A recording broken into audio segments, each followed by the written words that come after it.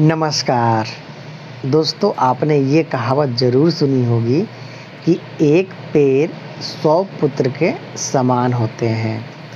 तो दोस्तों, आज मैं आपको एक ऐसा ही घर दिखाने जा रहा हूँ, जहाँ पे एक पेड़ जो है, वो इस घर का जो लुक है, उसे कई गुना तक दोस्तों बढ़ा दिया है। हालाँकि बहुत सारे लोग हैं, इसे सीरियसली नहीं लेते हैं अपने घरों में पेड़ पौधा बहुत ही कम लोग हैं जो लगा पाते हैं। कुछ लोग इसे पसंद भी अपने घर में लगाना नहीं करते हैं।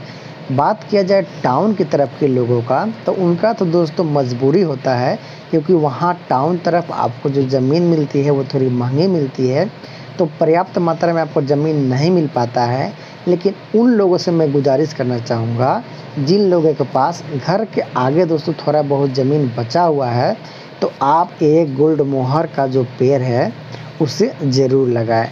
और किस लिए लगाएँ? आप इस वीडियो को पूरा देखिए, तब आपको सारी बातें समझ में आएगा। तो देख लीजिए, जो लाल फूल वाला पेड़ है, वो दोस्तों गुलमोहर का पौधा है, पेड़ है। और इसके पीछे देखेंगे तो आपको एक ज़बरदस्त लुक वाला घर देखने को मिल रहा होगा। जब मैं इस घर का फुल लुक दिखाऊँगा, दूर से दिखाऊँगा तब आपको समझ में आएगा कि एक गुलमोहर का कीमत क्या होती है दोस्तों, वो भी मई और जून के महीने में। तो चलिए पहले मैं आपको इस घर का कुछ हाइलाइट्स है, उसके बारे में बता देता हूँ, इसका फ्रंट टेलीविज़न के बारे में बता देता हूँ, इस घर के हर एक पार्ट के बारे में हम लोग चर्चा करेंगे।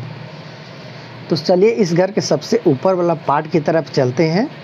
तो इस घर में देख रहे होंगे आप कि ढाई फीट दोस्तों कैंटिलीवर बीम के सहारे यहाँ पे छज्जा निकाला गया है।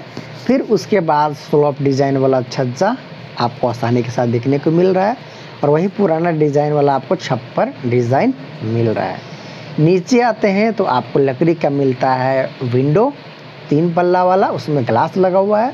उसके नीचे आते हैं तो पैरापेट, रेलिंग का डिज़ाइन आप आसानी के साथ देख सकते हैं। हालाँकि जो रेलिंग है वो आपको लोहे का ही यहाँ पे मिलता है। Gold white and black colour में कलर किया गया। हाइट का बात किया जाए तो ढाई से तीन फीट के आसपास में इसे रखा गया। आप ध्यान से देख लीजिए। कलर कॉम्बिनेशन का भी दो ये घर है दोस्तों, उसमें काफ़ी ख्याल रखा गया है। आपको दो से तीन कलर ही इस घर में देखने को मिलते हैं। आप देख लीजिए वाइट कलर है और छज्जा के लिए रेड कलर का उपयोग किया गया है।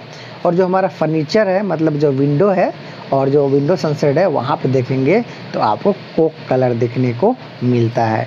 लेकिन देखिए दोस्तों, इसका जो सुंदरता है, वो घर से ज़्यादा अच्छा आपको इस गुलमोहर पेड़ की वजह से ये जो कंप्लीट आपको फ्रंट टेलीविज़न का डिज़ाइन लग रहा है, वो काफ़ी दोस्तों आपको अच्छा लग रहा होगा। तो देखिए दोस्तों, अगर आपके घर के बाहर भी इस तरीक़ा से अगर जगह बचा हुआ है तो आप एक दो पौधा ज़रूर लगाएँ। ये प्रकृति के लिए भी दोस्तों अच्छा है। हम लोग को स्वच्छ हवा भी मिलता है। दोस्तों, मैं चाहता हूँ आप लोग एक अच्छा घर दिलवाया जाए। लेकिन उसके साथ साथ दोस्तों, आपको प्रकृति के बारे में भी सोचना चाहिए।